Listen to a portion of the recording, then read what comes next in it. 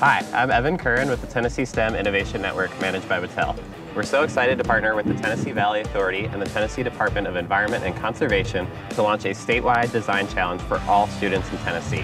What is a design challenge? It means we have a problem and we want you, Tennessee students, to solve it.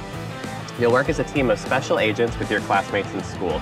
You can do this part project as part of a class or in an after-school club. Agents, we need your help to design a sustainable future in Tennessee.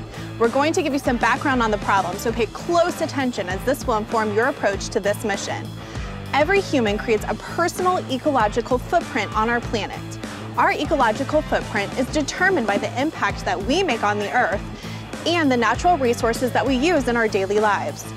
As Tennessee's population and industry grows, our ecological footprint grows too as a state we can reduce our footprint by choosing clean energy solutions.